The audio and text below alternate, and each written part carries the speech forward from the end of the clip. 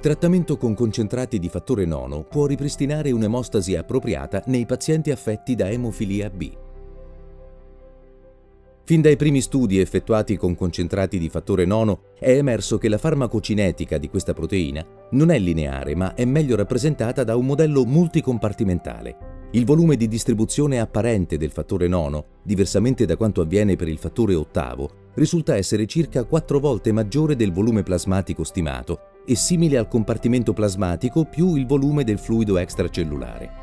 Globalmente i risultati degli studi effettuati suggeriscono che il fattore nono segua una cinetica complessa, influenzata da legame a siti accettori o compartimentalizzazione in spazi extravascolari con possibili implicazioni farmacodinamiche.